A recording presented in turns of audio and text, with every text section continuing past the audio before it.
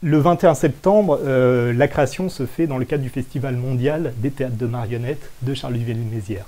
C'est quand même l'un des festivals les plus importants au monde. Euh, c'est pas rien. La ville de Charleville, c'est une ville qui, accueille euh, la marionnette, qui accueille ce festival, qui accueille euh, l'Institut international de la marionnette, qui accueille l'UNIMA, qui accueille l'École nationale supérieure des arts de la marionnette, dont je suis par ailleurs diplômé en France. Donc c'est quand même une capitale de la marionnette connue dans le monde entier. Voilà. donc pour, moi, oui, c'est sûr que je suis très très heureux de pouvoir présenter ce spectacle euh, à cet endroit-là. C'est évident. Après, je me pose la question, euh, étant donné qu'on est à cheval sur du théâtre et sur de la marionnette, sur comment est-ce que euh, ce spectacle va être reçu par les marionnettistes. je ne sais pas s'il y aura beaucoup de théâtreux, si je peux dire ça, parce que c'est quand même un, spectacle, un, festival qui est orienté sur la marionnette, et, c'est tout à fait normal. Mais voilà, je, me pose la question, euh, est-ce que, parce qu'on aime monter des textes, on aime euh, quand il y a beaucoup de paroles sur scène, on aime quand il y a un propos, un propos politique. Euh, voilà, donc je suis très curieux de savoir comment les marionnettistes français vont, vont recevoir cette création. Ça a été un, un processus de, travail pour arriver jusqu'à ce type de, visages qui ne sont pas euh, ce qu'on peut attendre habituellement pour une marionnette. il n'y a pas de nez, il n'y a, pas, a pas les yeux. Mais euh, moi, quand j'ai préparé le, spectacle, je suis beaucoup allé en Ukraine. J'ai eu l'occasion de voir euh, les marionnettes ukrainiennes et les jouets ukrainiens, en fait. Et donc ça, c'est inspiré de visages qui sont dans la tradition des jouets ukrainiens. Euh, donc euh, là, j'en ai une qu'on m'a offerte, euh, par exemple à, Mariupol, où là, bon voilà, c'est un visage très simple. c'est-à-dire qu'on voit que c'est un visage, mais il n'est pas dessiné. Après, sur des formes de, comme ça, de, poupées, en fait, il y a des, motifs dessinés, bon, comme, comme pour celle-là, par exemple plus touristique effectivement, mais bon, euh, qui donne, euh, qui donne une idée, de, une idée des, broderies qui sont utilisées. Et donc, euh, bah, moi, j'ai voulu retranscrire ça dans les, dans les marionnettes. voilà, donc tous ces, tous ces visages, à vrai dire, je les ai sculptés en volume, mais je ne les ai pas inventés parce que je les ai vraiment trouvés dans des, sur différentes, différentes poupées là-bas. après, moi, la difficulté, c'est que ici, elles sont dures alors que dans la tradition, euh, c'est mou, parce que c'est dans du tissu. Donc j'ai voulu transposer ça euh, en les construisant en papier. Donc c'est pour ça que, voilà, parce que pour moi le papier va donner euh, sur scène l'illusion que c'est en tissu. Donc voilà, j'aime quand les formes ne sont pas nettes, quand elles sont comme ça, comme si elles étaient, elles étaient vivantes. Et après, dans, tout le, dans tout le, travail, donc ça c'est l'objet euh, final euh, avant la peinture, euh, et bien là justement, c'est toutes ces petites irrégularités qui donnent l'illusion que c'est comme du tissu en fait. Alors, au niveau de la peinture, ça va être assez neutre quand même, hein, parce qu'on va être sur du gris, sur des visages assez gris, voire même du, gris un peu métallisé. Et ici, euh, juste sur ces lignes comme ça, sur celles qui sont en volume, euh, sur ces lignes ici, là, qui sont un peu élaborées, euh, il y aura quelques couleurs. Par exemple vert, celui-là je le vois rouge, avec des petites illusions de, broderie à l'intérieur.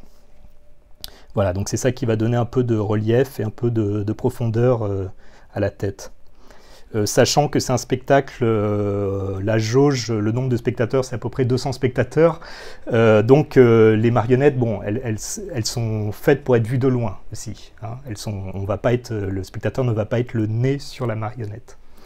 voilà, mais comme c'est un processus de travail qui est nouveau pour moi et que je trouve intéressant, je construis aussi d'autres marionnettes, cette fois-ci un peu plus fragiles, d'autres têtes, euh, qui vont être euh, utilisés uniquement pour des expositions, où là, le spectateur pourra vraiment être proche c'est dans le cadre d'une exposition, donc il pourra vraiment être très proche de, de, la tête pour voir comment est-ce qu'elle est construite.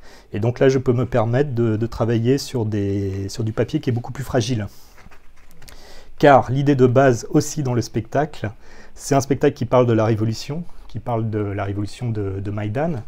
Euh, et euh, ces, têtes représentent les révolutionnaires.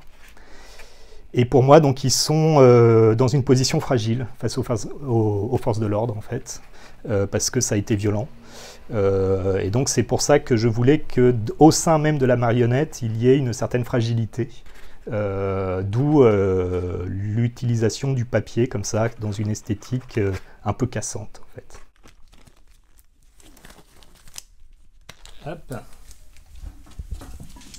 Et dedans, bah, je vais mettre euh, ma pâte que j'ai préparée en avance. C'est un mélange de, papier mâché. Alors euh, celui-là euh, qui est entre du bois, de la colle, de la colle à bois, de la colle à papier, et puis du, papier en poudre en fait. Et ça, en séchant, bah, ça va devenir dur. Donc voilà, ça va, ça va durcir la pièce tout en gardant une légèreté. Donc là, euh, je mets ça à l'intérieur de ma, tête, de, la tête de la marionnette. Donc c'est quelque chose que le spectateur ne, verra pas. Mais ça va solidifier l'ensemble. Après, l'idée, bah, c'est de donner euh, ce type de tête. Donc euh, bah, là, voilà, c'est sur celle-là que je, je, travaillais. Donc ça, c'est le résultat après le démoulage. Et on voit à l'intérieur, il y a la pâte que j'ai mise. Donc ça, c'est quand même euh, quelque chose de, solide. Euh, ce qui va se passer, c'est qu'elle va un peu se déformer euh, dans le processus de, séchage. Mais moi, ça me dérange pas, parce que je joue aussi beaucoup avec les, avec les déformations. Donc voilà, et ça reste quelque chose d'assez léger. Euh, donc ce qui est bien pour les, pour les marionnettistes, hein, parce que quand c'est trop lourd, euh, sur deux heures de spectacle, c'est toujours embêtant. Euh, et après, donc, on va la mettre sur la marionnette, comme ça. et la marionnette aura sa propre tête, qui pourra tourner pour regarder à droite et à gauche. Ça répond à, une écriture qui est celle d'une auteure ukrainienne, Neda Nejdana. Et euh, la pièce est donc euh, structurée comme ça, euh, par des intermèdes notamment, par des, également des monologues et par des, des espaces de parole qui se situent au sein des réseaux sociaux. Et la partie des intermèdes, c'est celle que nous traitons avec les marionnettes. Et c'est très intéressant parce que ça fait une référence au vertep, euh, la marionnette traditionnelle ukrainienne, qui est également construite par, des intermèdes. Voilà. Et euh, les intermèdes du vertep sont des intermèdes païens euh, au milieu de, marionnettes qui sont plus à caractère religieux. Et donc cette pièce, l'écriture a été écrite comme ça, en, en, référence au vertep. Et c'est un peu pour cette raison-là que ces intermèdes, nous les avons traités avec des marionnettes qui sont euh, dans la tradition de, ce qu'on peut trouver en Ukraine. Alors qu'est-ce qu'on fait avec les casques? Là, en prendre ou pas? Et des casques de moto ou de chantier? Tout ce que vous trouverez. Et aussi des gilets pare-balles, même d'occasion. Ça servira. Euh, ce, spectacle s'est construit euh, également par des sorties de, résidence, c'est-à-dire c'est des moments où nous avons présenté notre, euh, nos travaux au public, sans qu'ils soient encore terminés, mais dans une, dans une étape qui était assez aboutie pour être présentable au public. Et là, maintenant, à Charleville, c'est la création du spectacle. C'est-à-dire que ça va être le, spectacle final, euh, tel qu'il va euh, exister par la suite, où a priori il n'y aura pas d'autres modifications euh, derrière. Et donc, bah, ce qu'on a en plus, c'est une création lumière, c'est une création son, c'est l'intégralité de, la pièce également qui est montée. c'est les, marionnettes dans leur, état définitif. enfin voilà, c'est des costumes également hein, qui sont qui ont été, euh, qui ont été euh, qui, ont été, qui rentrent maintenant dans une esthétique qui est celle du, du spectacle.